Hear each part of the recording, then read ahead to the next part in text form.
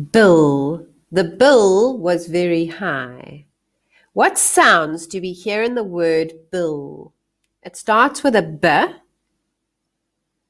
and it's followed by an ill sound. It's actually ill is a word. When you're ill, you're sick. So you can hear the uh and you can hear the l. So I've put two dollar signs to help you remember there's a double ill.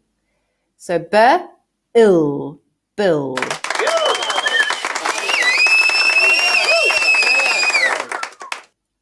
Now, how do you spell bill at the competition? B I L L. B I L L. So say bill and take away the b. You left with the word ill. So there's a word within a word.